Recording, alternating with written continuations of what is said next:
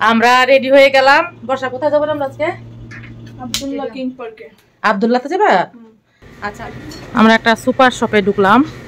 প্রথমে হচ্ছে আমার একটা শুটকি লাগবে। এই যে শুটকিটা নিয়ে নিলাম। এটা একটা বাড়ি ছিল মনে হয়। ওই যে দেখো ওই উপরতলা পর্যন্ত। তারপরে এই যে একটা গেট পুরান একটা গেট। আর আমি বুঝতে পারতেছি না ওই যে দেয়ালো বাঙ্গা দেখা যায় এটা কি এভাবে ডাইবা গেছিল? মনে হয়, দেখো, ভীষণ খারাপ লাগছে ব্যাপারটা। ঘুম থেকে উঠেই এই যে আজকে গড় গুছালাম। তোমাদের সাথে শেয়ার করা হয় নাই, এই যে, দেখো। আর খাটটা কিন্তু আমার অনেক পছন্দের একটা খাট, কিন্তু খাটটা রেখে চলে যাব। আমার ভীষণ পছন্দ হয়েছে। তো বাংলাদেশে গেলে আমার আগে থেকে ইচ্ছে যে এরকম ই কালার এটা কি কালার বলে? অ্যাশ কালার অ্যাশ কালারের মধ্যে আমি পুরো ঘরের ফার্নিচার যা কিছু লাগে, আমি সব কিছু হচ্ছে অ্যাশ কালারেরই কিনবো।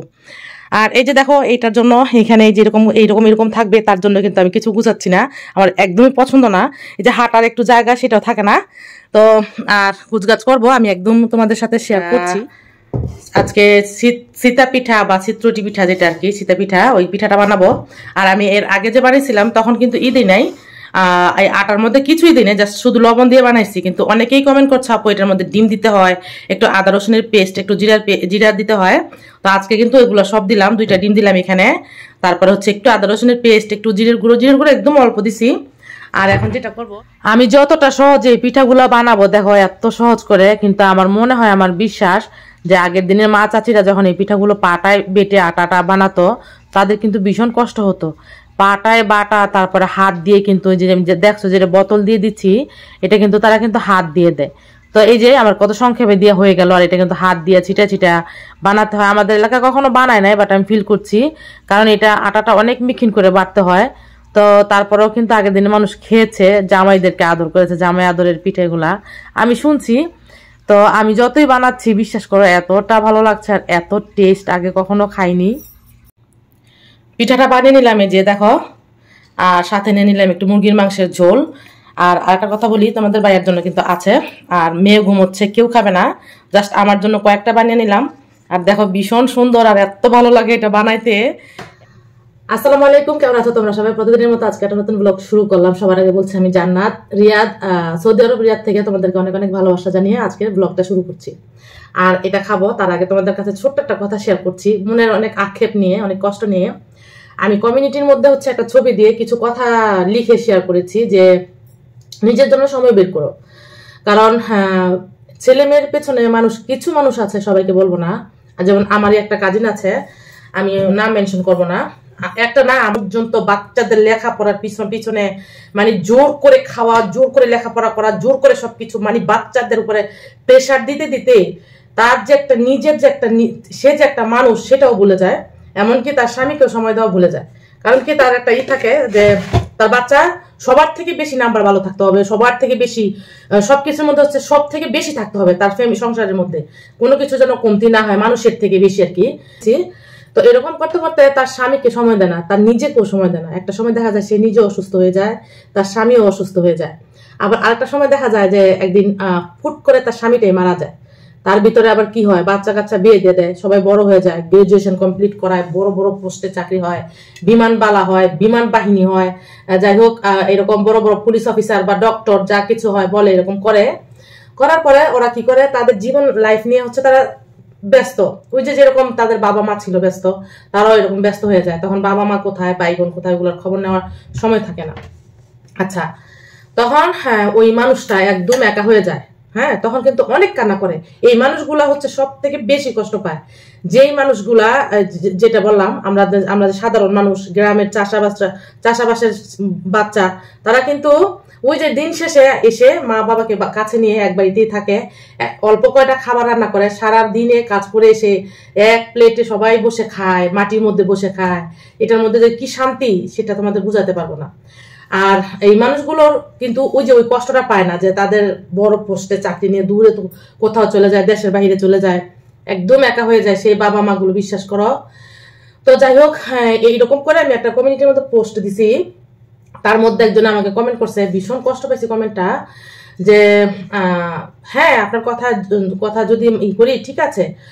বাচ্চাদেরকে সময় তাহলে কাকে সময় দিব? বাচ্চাদেরকে সময় দিব না? কাকে সময় দিব? ও, আপনি কি? আপনি কি বুঝেন এগুলার সম্বন্ধে? আপনি কি বাচ্চার সম্বন্ধে কি বুঝেন?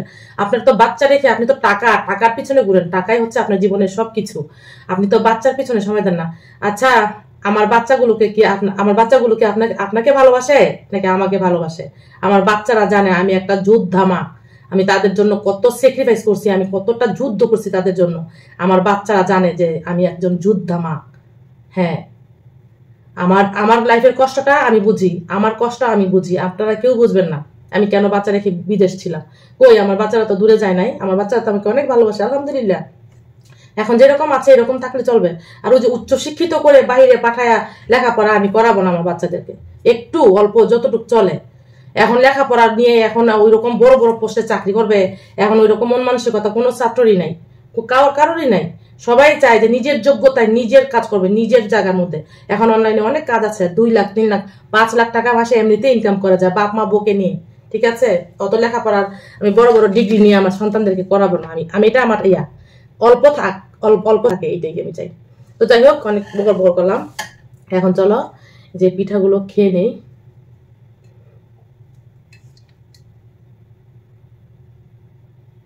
বিসমিল্লাহ।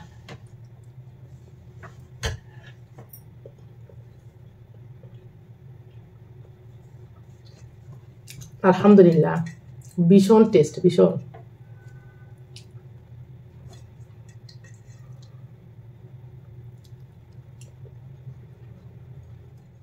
আমি নাস্তাটা করে যে ভাত বসাই দিলাম, আর এখানে প্রেশার কুকারে ডাল বসাই দিছি। আর এখানে যে চিংড়ি মাছ নিয়ে নিলাম, চিংড়ি মাছটা ই করার জন্য মানে চিংড়ি মাছ দিয়ে আজকে করলা দিয়ে রান্না করব। আর এই যে এই অবস্থায় আছে, আর আমাদের বাসায় কিন্তু অলরেডি মেহমান আসছে। বর্ষা আসছে তোমরা সবাই মোটামুটি চিনো। আর অনেকে কমেন্ট করেছ আপু এই মেয়েটা কে? মেয়েটা হচ্ছে তোমাদের মতো একটা বোন তোমাদের মতো এরকম ভিডিও দেখতে দেখতে ভালোবাসতে বাসতে বাসতে বাসতে বেশে বেশে চলে আসছে আমার কাছে। তো এই যে আমি একটু চা বানিয়ে নিলাম ওদের জন্য। এই যে বর্ষা চলে আসছে। বর্ষা কি অবস্থা? সবাই? কি অবস্থা? সবাই অনেকজনে কমেন্ট করছে আপু মেয়েটা কে? তুমি আসলে কে বলো তো? তুমি তুমি হচ্ছে একজন মানুষ। বলো আমি একজন মানুষ। আচ্ছা নাও চা খাও। আর একটা আপু আসছে বাট ওনাকে ক্যামেরার সামনে আনব না।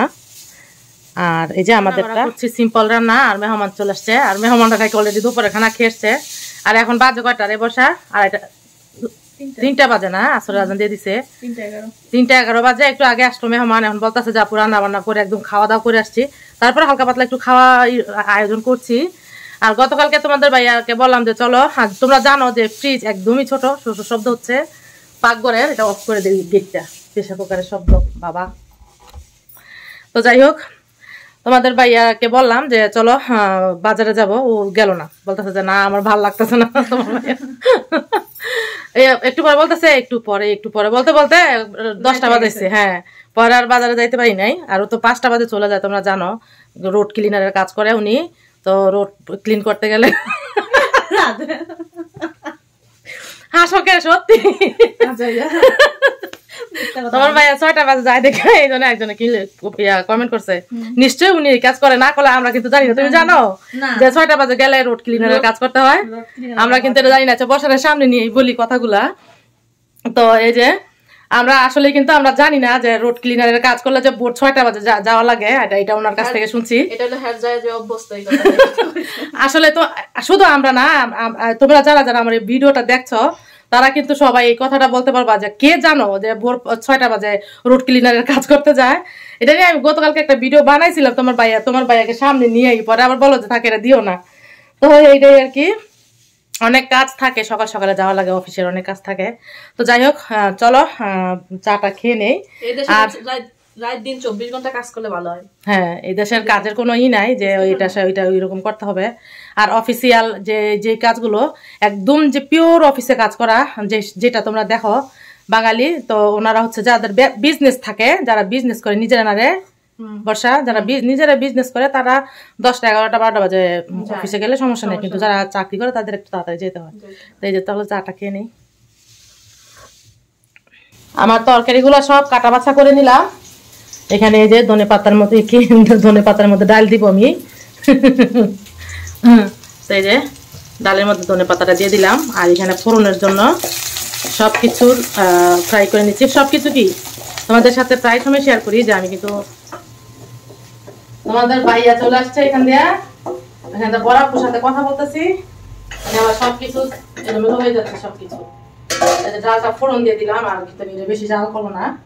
আমি এখন এটা নামিয়ে ফেলব। পাতলা এটা বলার মতো না। মানে রান্না করে একটু কোনো মজা নাই। এটার মধ্যে একবারে পাতলা। অল্প আর দিয়ে রান্না করতে হয় না, একদম পুরে ছাল খাওয়ার হয়ে যায়, এরকম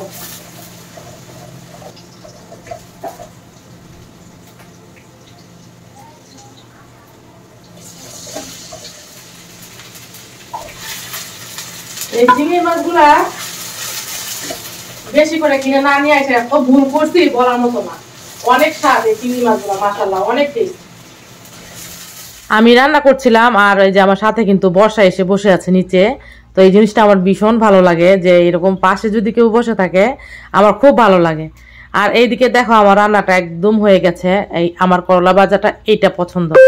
আমি যে মচমচা করে বাজি ওইটা কিন্তু আমার একটুও ভালো লাগে না। আর এই যে চিংড়ি মাছ দিয়ে সুন্দর করে একদম ভেজে নিলাম। আর এটা খেতে কিন্তু ভীষণ ভালো লাগবে। আর এই যে গোটা কাঁচামরিচগুলো দেখছ, এগুলো কিন্তু খাওয়ার সময় ঢোলে ঢোলে ঝাল ঝাল করে তারপরে হচ্ছে খাবারটা খাব। সমস্ত পাক করে যে একদম সুন্দর করে পরিষ্কার করে নিলাম, দেখো। আর রান্না বান্নাটা আমার একদম ডান। এই যে সব কিছু পরিষ্কার করা। আর এখানে আমি সব চুলার এই যে আবি যাবি আশেপাশের যা কিছু ছিল পরিষ্কার করে নিলাম। আর এটা তো তোমাদের সাথে শেয়ার করলাম, এই রান্না শেষ হয়ে গেছে আমার। এই যে সিঙ্কটাও সুন্দর করে পরিষ্কার করে যে প্লেট বাটিগুলো এখানে দিয়ে নিলাম, আধা ঘণ্টা পরে বা এক ঘণ্টা পরে যখন শুকিয়ে যাবে, এই যে জানালার পাশ দিয়ে সুন্দর বাতাস আসতেছে এখানে, বাতাসে হচ্ছে সব শুকিয়ে যাবে। আর এখানে এই যে আমার ভাতটা রান্না করা শেষ, তারপরে এই যে এখানে আমার ডাল রান্না করা হয়ে গেছে। আর এই যে গতকালকের একটু একটু করে তরকারি আছে, বেগুন ভাজা, তারপরে হচ্ছে মুরগির মাংসের ঝোল, আর এটা তোমাদের ব্যাগ একটু পরে পিঠা বানাই দিব। আর এই যে সব কিছু পরিষ্কার করা সব কিছু একদম গুছানো। আর এখানে তো বললাম মেহমান আসছে। মেহমানরা এখানে আড্ডা দিচ্ছে বসে বসে। আর তোরা দেখাইতাম না। সিঁড়ি তুই ফ্যাশা এই যে আমাদের বাইয়া চলে আসছে। খাবার দেবো হ্যাঁ? একটু পরে খাবা?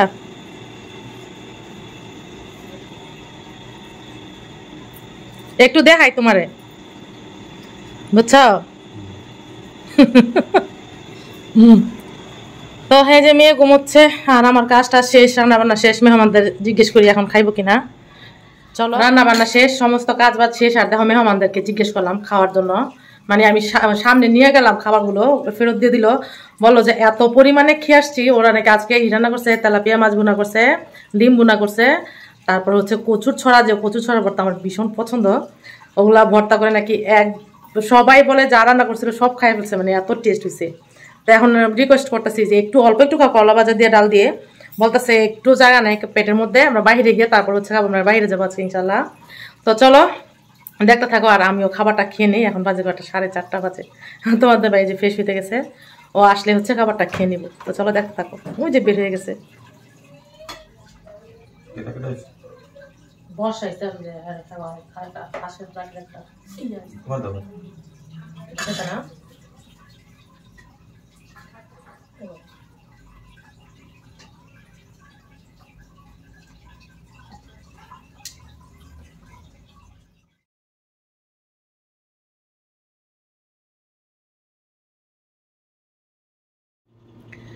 আমরা রেডি হয়ে গেলাম। বর্ষা কোথায় যাব আমরা আজকে? আব্দুল্লাহ কিং পার্কে। আবদুল্লাতে যাবা? আচ্ছা আমরা এখন যাব আবদুল্লাহ কিং পার্কে। এই যে দেখো। তুমি গেছো? হ্যাঁ গেছিলাম। ফার্স্টে সেই আবদুল্লাহ কিং পার্কে গেছিলাম তোমার ভাইয়ের সাথে। আর এই যে বর্ষা রেডি হচ্ছে। আর আমি অলরেডি ডান রেডি আর এই যে ও যেখানে সেখানে হচ্ছে যদি ওই ওই ব্লগটা যদি দেখতে চাও তাহলে অবশ্যই এ এই জান্নাত ব্লগসে চলে যাও। আর দেখতে পারবা আর বর্ষাকে কেমন লাগছে? একটু কমেন্ট করে জানাবা। আমার ভালো লাগতেছে না হ্যাঁ ভালো লাগতেছে। চশমাটা পরে ভালো লাগতেছে। তোমারটা বড় ওরা তো আছে চশমা। ও আর কথা এই চশমাটা কিন্তু আমাকে ও গিফট করছে বর্ষা গিফট করছে। আর এই যে ওটা- ওটা অনেক সুন্দর মাশাল্লাহ তো চলো দেখতে থাকো। আমরা বাইরে গিয়েছিলাম আর ব্লগটা দেখতে চাইলে অবশ্যই এই জান্নাত চ্যানেলে চলে যাও। সুন্দর একটা ব্লগ করে আসছি। আর ব্লগ ভিডিও করে আসছি বাহিরের যে সিনারিগুলো আর তোমরা তোমরা না শুধু দুই একজন কমেন্ট করো যে আপু কি দেখান বাসার মধ্যে। তোমরা যদি বাহিরের সিনারি দেখতে চাও, বাহিরের সৌদি আরব যে বাহিরের ইগুলো দেখতে চাইলে যারা এখন আমার এ এ জান্নাত চ্যানেলে যাও নাই, দেখো নাই, তারা দেখে নাও। আর এখন হচ্ছে আমি আবার দেখো বোরখা খুলে ফেলছিলাম। বোরখা খুলে হচ্ছে বাহির থেকে খাবার নিয়ে আসছিলাম, এই জান্নাত চ্যানেলে দেখতে পাবা চিকেন ফ্রাই নিয়ে আসছি, তারপরে ভুট্টা নিয়ে আসছি, তারপরে ফুচকা নিয়ে আসছি, অনেক রকমের খাবার নিয়ে এসে একসাথে খেলাম। তো তোমাদের ভাই আবার বলল যে, তাড়াতাড়ি রেডি হও, আমরা একটু বাহিরে যাব। তো বাহিরে কেন যাবে আমি জানি না, কি কিনা কাটা কোনো করার জন্য যাবে। তো চলো ব্লগটা দেখতে থাকো, আশা করছি ভালো লাগবে। বাহিরে যাই আজ- আজকে এই চ্যানেলের মধ্যে বাহিরের কিছু সিনারিগুলো শেয়ার করব, যে কাজের জন্য যাচ্ছি। তো চলো দেখতে থাকো। একটা ভিডিও শেয়ার করি তোমাদের সাথে হ্যাঁ? এটা একটা বাড়ি ছিল, মনে হয় ওই যে দেখো, ওই উপরতলা পর্যন্ত। তারপরে যে একটা গেট পুরান একটা গেট আর আমি বুঝতে পারতেছি না ওই যে দেয়ালো বাঙ্গা দেখা যায় এটা কি এভাবে ডাইবা গেছিল। মনে হয়, দেখো, ভীষণ খারাপ লাগছে ব্যাপারটা। মনে অনেক পুরান ছিল। আর ওই যে, এই যে বাংছে অবশ্যই এটা ডাইবা গেছে। ভূমিকম্পের মতো হয়েছে আর কি ব্যাপারটা, এই যে দেখো। তো এখানে আর বাড়িঘর তুলতে মানে সরকারে দিব না, এই জন্য যেখানে যে ব্লক করে রাখছে, ইয়া দিয়া সিমেন্ট দিয়া। আমরা মূলত আসছি ব্যাংক থেকে টাকা উঠানোর জন্য। এটা হচ্ছে আমাদের মূল উদ্দেশ্য ছিল। তো তোমাদের এই যে এটা একটা ব্যাংক ব্যাংকের সামনে যে দেখো, কত বড় লম্বা সিরিয়াল তো আমরা এখান থেকে টাকা উঠিয়ে তারপরে বাকি কাজ করছি। একজন এসে আমাকে জিজ্ঞেস করতেছে এস মুশকিলা? হ্যাঁ। আচ্ছা কোনো কি সমস্যা? আমার তো এখানে সমস্যার জন্য দাঁড়ায় নাই। তো তোমাদের ভাইয়া গেছে হচ্ছে ব্যাংকে থেকে টাকা উঠাবে আমাদের। আর যে নতুন বাসা আমরা এখন বর্তমানে যাব ওনাদের টাকাটা পুরো দেওয়া হয় নাই বাকি আছে কিছু। ওই টাকাটা আগে অগ্রিম দিয়ে তারপরে হচ্ছে বাসায় উঠতে হয় তোমরা জানো। যে কোনো জায়গায় তারপরে দেখা যাক কি হ্যাঁ, আমরা কিছু মাছও কিনবো। একদম বেশি কিনবো না জাস্ট আগামীকালকের জন্য কিনবো। কারণ পরশু দিন আমরা এখান থেকে ই হয়ে যাব মানে চলে যাব। আর এটাই আর কি। তো দেখা দেখা যাক কি হয়, আবার মাছ নাও কিনতে পারি। তো এই যে, কারণ মাছগুলো কিনলে আবার এখান থেকে সেই নেওয়া লাগবে, আনা লাগবে, খুব ঝামেলা। আর ফ্রিজটা হচ্ছে আগামীকালকে বন্ধ করে দিব। কারণ ফ্রিজ হচ্ছে তো সাথে সাথে বন্ধ করে নিতে হয় না, তাহলে নষ্ট হয়ে যায়। তো চলো দেখতে থাকো। আর এই যে বাথা এলাকায় আছি, খুব রিস্ক মোবাইলে সমস্যা হইতে পারে। এখানে কত সুন্দর মাসাল্লাহ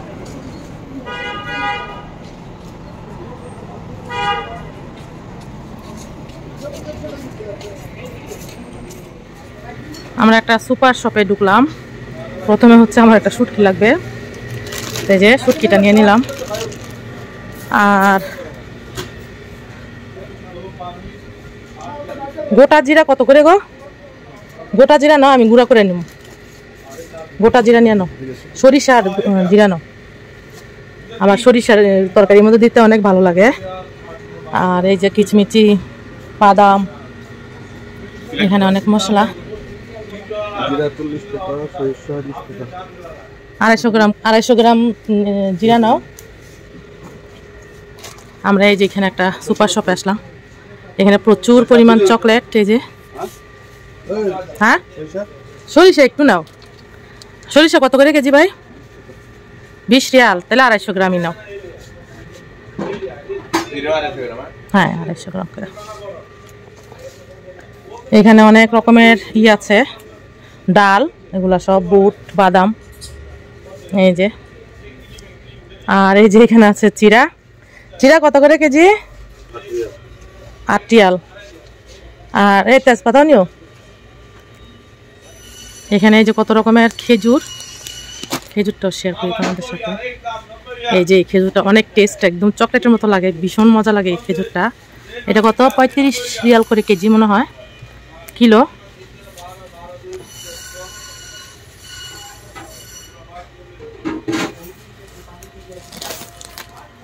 এই যে শুটকি, এটা নাও। এখানে যে বাংলাদেশে শরীর মাজার ছোবা আছে। সোফা কি সুবা? সুবা সুবা আছে। টিফিন বক্স, তারপরে বাচ্চাদের খেলনা, আর এখানে পাতিল আছে, দেখো, এই পাতিলগুলো অনেক ভালো লাগে রান্না করতে। এগুলো হচ্ছে সিলভারের পাতিল, খুব সুন্দর। এগুলো যে এটা হচ্ছে তিরিশ শিয়াল করে। কিন্তু দাম অনেক বেশি, দেখো। এই যে এটা হচ্ছে বাইশ রিয়াল। আর এটা হচ্ছে আরেক ধরনের সিলভার। এই যে এই কড়াইগুলো আমাদের রান্না করতে অনেক অনেক বেশি ভালো লাগে।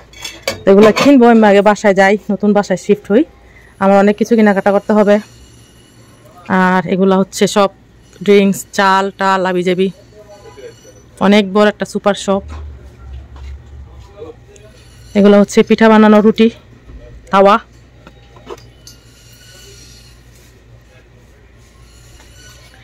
এগুলো কি প্লেট এই যে প্লেট তারপরে তরকারি ছিলকা ছিলার এই যে হ্যাঁ এগুলা কিন্তু অনেক পোক্ত, অনেক সুন্দর। হুম? আর কি লাগবো? আর কিছুই লাগবো না। সাবান সাবান ওইখানে গিয়ে এক- বস্তা কিনে নি মনে। কাপড় ধোয়ার পাউডার এটা নিছো ইয়া?